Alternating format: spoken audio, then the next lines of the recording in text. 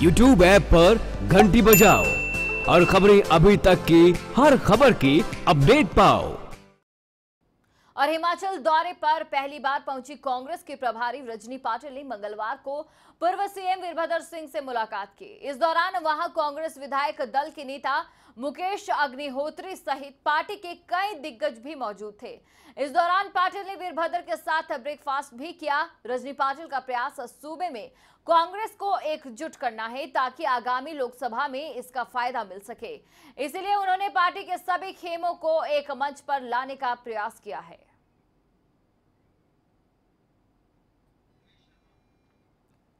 तो इसी खबर पर अधिक जानकारी के साथ हमारे संवाददाता अमित शर्मा हमारे साथ फ़ोन लाइन पर जुड़ चुके हैं। अमित शर्मा, क्या जानकारी, क्या अपडेट है आपके पास? देखिए, रजनी पाटिल दो दिनों के प्रवास पे हिमाचल के राजधानी शिमला पहुँची है और शिमला में उनको एक बड़ा चुनौतीपूर्ण काम दिया गया है, जिसमें कि कांग्रेस को आने वाले जो लोकसभा चुनाव है 2019 में होने, उसके लिए संगठन को एकजुट करना है, संगठन को चाक चौबंद करना और खारदार बनाना है और संगठन में जो बिखराव है, जो टकराव है, उसको खत्म करके सबको एक मंच पर लाके संगठन के लिए तैयार करना है और 2019 का जो लक्ष्य है, जिसमें कि हिमाचल की चार सीटों को जीतने का लक्ष्य रखा है उसको जीत की तरफ़ ले जाना तो रजनी पार्टी के लिए चुनौतीपूर्ण कार्य हिमाचल प्रदेश में दिया गया है अभी पहला उनका प्रवास, हिमाचल का प्रवास है। बीते कल राजधानी शिमला में जो कांग्रेस मुख्यालय है, वहाँ कांग्रेस के जो दिग्गज नेता है बड़े नेता है, पार्टी पदाधिकारी है, जिला स्तर के नेता, ब्लॉक स्तर के नेता है, सभी के साथ उन्होंने मित्राना की है, बातचीत की है, और उस बातचीत करने के बाद आज दूसरे दिन रजनी पाटिल, जो नेता, बड़े नेता है, जो किसी कारणवश बैठक में नहीं पहुँच पाए उनसे मुलाकात करने अलग अलग उनके घर पे पहुँची है तो आज ये सबसे महत्वपूर्ण व्यक्ति वी सिंह जो हिमाचल प्रदेश में सबसे बड़े पदावर नेता माने जाते हैं और पूर्व मुख्यमंत्री और हिमाचल प्रदेश में कांग्रेस के सबसे अग्रणी माने जाते हैं। वीरभद्र सिंह से सुबह मिलने पहुँची रजनी पाटिल किसी वजह से वीरभद्र सिंह कल बैठक में कांग्रेस दफ्तर में नहीं पहुँच पाए थे। तो आज रजनी पाटिल उनके घर पहुँची उनके घर नाश्ता किया उनके साथ जो संगठन को लेके किस तरह संगठन को तैयार करना इसको लेके बातचीत की है। मन जाने की काफ़ी बातचीत चली और ये हमें जो जानकारी मिली है वो काफ़ी सौहार्दपूर्ण और सुख अच्छी बात होने की संभावना यह जताई जा रही है। फ़िलहाल अभी रजनी पाटिल मीडिया से रूबरू होना है शायद मीडिया में वो ज़रूर खुलासा इस बात का करेगी कि किस तरह की लेकिन जो हमारे सूत्र कह रहे हैं, उनकी जो बातचीत वीरभद्र सिंह के साथ हुई, काफ़ी फ्रूटफुल बात हुई है, काफ़ी महत्वपूर्ण बात मानी जाती है। उसके बाद उससे पहले विद्या स्ट्रोक्स के साथ भी जो हिमाचल प्रदेश की वरिष्ठ नेता है कांग्रेस की, उनके साथ भी रजनी पाटिल ने मुलाकात की है। उमेश शर्मा जी, जैसे कि अगर हिमाचल की बात की जाए तो यहाँ कांग्रेस पार्टी में जो बिखराव और टकराव चला है, वो सबके सामने जग ज़ाहिर है। ऐसे में पार्टी की बड़ी नेता का ये प्रयास, क्या कुछ अनुमान लगाया जा सकता है?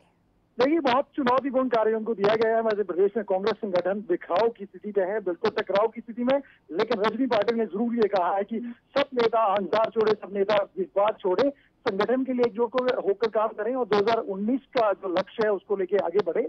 और रजनी पाटिल का जो प्रयास है, वो चल रहा है। देखिए आज उन्होंने वी वसीम से बात की है, बीते कल विद्या स्टोक से वरिष्ठ नेता है उनके घर नाश्ते पे गई, आज वी वसिंह के घर नाश्ते पे गई थी। कोशिश ये की जा रही है सभी जो नेता है जो किसी तरह का मन मुटाव या किसी बात को लेकर विवाद है, उसको सुलझाने का प्रयास कर रहा है। लगता है ये प्रयास सफल होगा, इसका परिणाम आएगा। इसी को लेकर रजनी पाटिल भी उम्मीद जरा है। अब देखना है कि हिमाचल प्रदेश में रजनी पार्टी की जो पारी है, किस तरह से आगे बढ़ती है। और चुनौती 2019 के लिए संगठन को चाक चौमत करना है नामजद करना और जीत का लक्ष्य उन्होंने रखा है। जी उमेश शर्मा जी, और इसके अलावा अगर कांग्रेस पार्टी की बात की जाए तो प्रदेश भर में जो हलचल कांग्रेस पार्टी के साथ देखी जा रही है, कहीं ना कहीं ये लगता है कि 2019 के जो चुनाव आने वाले हैं, उसके लिए तैयार होती पार्टी पूरी तरह से दिख रही है।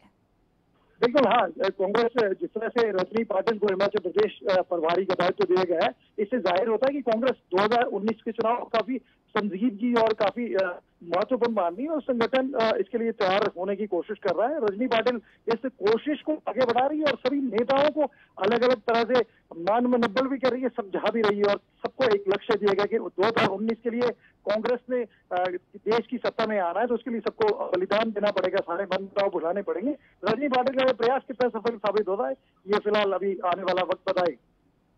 जी, बहुत बहुत शुक्रिया इस तमाम जानकारी के लिए और हमारे साथ जुड़ने के लिए। तो आपको बता दें कि जिस प्रकार से अब बैठकों का दौर जारी हो चुका है, लोग मिलने लगे हैं बड़े बड़े नेता आपस में मिलने लगे हैं और एक दूसरे के घर पे जाकर चाय की चुस्कियाँ लेते हुए भी नज़र आते हैं। कहीं ना कहीं 2019 के जो चुनाव आने वाले हैं, उसको लेकर जो पार्टियाँ हैं, वो कहीं ना कहीं तैयार देखने को मिल रही हैं।